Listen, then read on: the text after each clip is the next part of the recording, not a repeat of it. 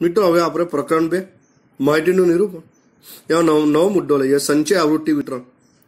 બે રીતેનો અર્થ આપેલો છે. એક અસતત આવૃત્તિ વિતરણની દ્રષ્ટિએ અને ત્યારબાદ સતત આવૃત્તિ વિતરણની દ્રષ્ટિએ. તો અસતત આવૃત્તિ વિતરણની દ્રષ્ટિએનો અર્થ જોઈએ.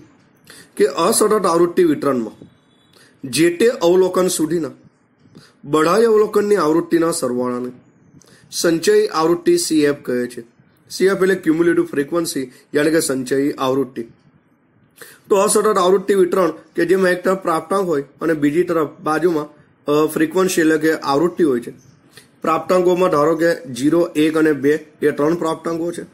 બાજુમાં આવૃત્તિ જોઈએ તો દસ, પંદર અને પચીસ એ ત્રણ આવૃત્તિ છે. હા તો ત્રણે ત્રણ જે આવૃત્તિ છે, એનો સરવાળો અને સંચય આવૃત્તિ કહેવાય. તો દસ ને પંદર, પચીસ ને બીજા પચીસ એટલે કે પચાસ સંચય આવૃત્તિ થશે. આ સતત આવૃત્તિ વિતરણ માટે થયું.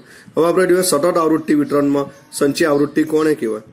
તો સતત આવૃત્તિ વિતરણમાં, જે તે વર્ગ સુધીના, જે તે વર્ગ સુધીના બધા જ વર્ગોની આવૃત્તિના સરવાળાને સંચય આવૃત્તિ કહે છે. ધારો કે પહેલો વર્ગ જીરોથી દસ, પછી દસથી વીસ વીસથી ત્રીસ, એ રીતે ત્રણ વર્ગ છે. અને બાજુમાં આવૃત્તિ આપેલી છે દસ, વીસ અને ત્રીસ. તો દસ ને વીસ, ત્રીસ ને ત્રીસ સાહીઠ આ જે સાહીઠ સરવાળો થાય, એને આપણે સંચય આવૃત્તિ તરીકે ઓળખીશું. થી ઓછા પ્રકારની સંચય આવૃત્તિ. થી ઓછા પ્રકારની.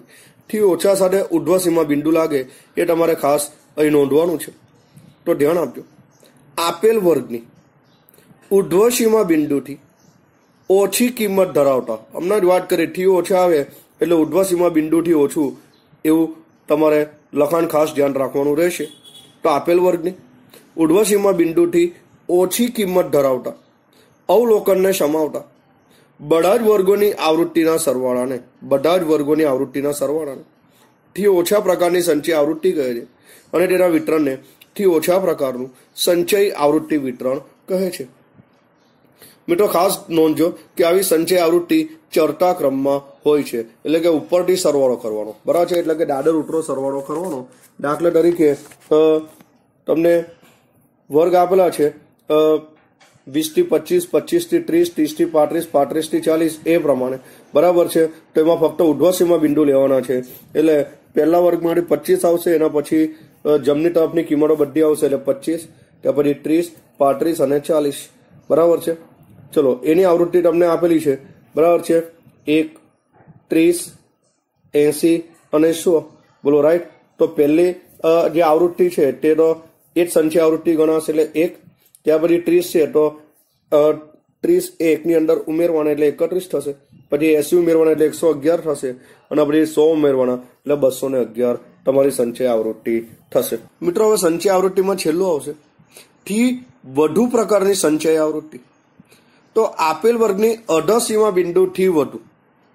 મિત્રો, હમણાં આપણે જોયું કે થી ઓછું હોય તો ઉર્ધ્વસીમા બિંદુથી ઓછું આવે. અને થી વધુ હોય તો અઢસીમા બિંદુથી વધુ આવે. આ લખાણ પણ તમારે બરાબર ધ્યાન રાખવાનું છે. તો આપેલ વર્ગની અઢાસીમાં બિંદુથી વધુ કિંમત ધરાવતા અવલોકનને સમાવતા બધા જ વર્ગોની આવૃત્તિના સર સમૂહને કે સરવાળાને થી વધુ પ્રકારની સંચય આવૃત્તિ કહે છે. અને તેના વિતરણને થી વધુ પ્રકારનું સંચય આવૃત્તિ વિતરણ કહે છે. ખાસ નોંધજો કે આવી સંચય આવૃત્તિ ઉતરતા ક્રમમાં હોય છે. બરાબર છે? દાખલા તરીકે વર્ગ આપેલા હોય આપણી પાસે ચાલીસથી પિસ્તાલીસ. પિસ્તાલીસથી પચાસ અને પચાસથી પંચાવન. અને એની આવૃત્તિઓ આપેલી હોય છે દસ, એસી ને એકસો પચાસ. હવે અઢાસીમાં બિંદુથી વધુ લેવાનું છે. બરાબર છે? એટલે તમારે જે ડાબી તરફની કિંમત છે, એ ડાબી તરફની કિંમત તમારે લેવી પડે. બરાબર છે? પહેલો વર્ગ આપણે કયો હતો? ચાલીસથી પિસ્તાલીસ બરાબર છે? એટલે એમાંથી આપણે ચાલીસ લેવાનો. ત્યાર પછી પિસ્તાલીસથી પચાસ, એટલે પિસ્તાલીસ લેવાનો. ત્યાર પછી પચાસ. બરાબર છે? એમ ત્રણ તમારા થશે. હવે છેલ્લેથી ઉતરતા ક્રમમાં તમારે ઉતરતા ક્રમમાં હોય છે આવી આવૃત્તિ. એટલે નીચેથી તમારે સરવાળો કરવો પડે. ધારો કે પહેલી આવૃત્તિ છેક નીચે દસ છે. એની ઉપર એસી છે ને પછી એકસો પચાસ છે. તો પહેલા જે આવૃત્તિ છે એ સંચય આવૃત્તિ ગણાશે, એટલે કે દસ. પછી એની અંદર એસી ઉમેરીએ એટલે દસ વત્તા એસી નેવું થશે. અને ત્યાર પછી નેવું ની અંદર એકસો ને પચાસ ઉમેરતા બસો ને ચાલીસ સંચય આવૃત્તિ ગણાશે.